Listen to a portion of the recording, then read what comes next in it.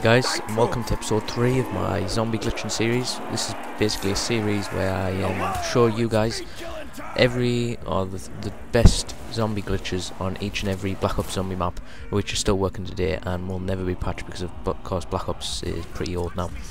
So in this episode I explore Shi No Numa. Now the first glitch I'm showing you is an out of map glitch.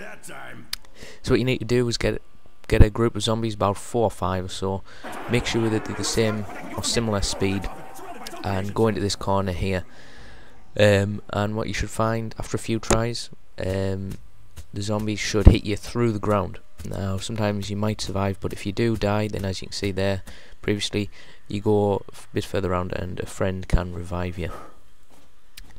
Um, once you're out, um, you need to stay under the building and then make your way, as you can see, over um, towards the fishing hut, I believe.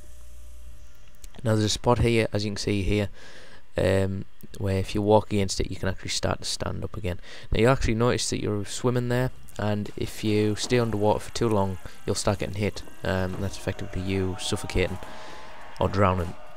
And if you don't get to air um, quickly, then you'll actually die and that's not very good is it um, so as you can see here once you're on the fishing hut you can stand just above the door and the zombies will gather up below you. That is making sure that the um, the door next to the flogger is actually open.